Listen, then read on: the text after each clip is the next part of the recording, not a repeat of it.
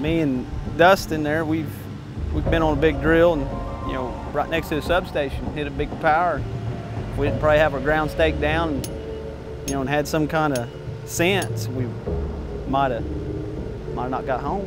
When I I hit that big one at, in a substation, that was the reason they bled off on the other ones. He had it marked going out to the road, and it actually was coming across the field on us. You know, we didn't have no clue. He didn't have no clue. You know, and it was a big one. That ground stake on them things, that's what they're designed for, and it finally went off. He got into the neutral, it kind of smoked out the bore hole. You know, you, you get that that smoke, you know, because you hit hit it.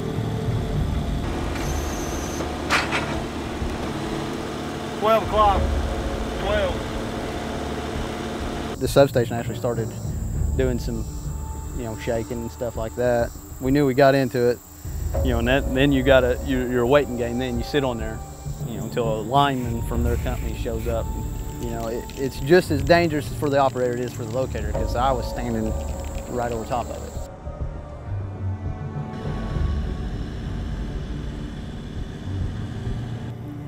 Come on, come on. Put it on six just to make sure we clear the gas.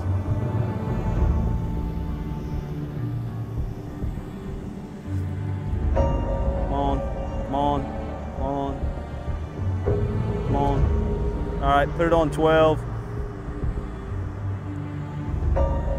It's the things that you're not paying attention to you're gonna hit. So.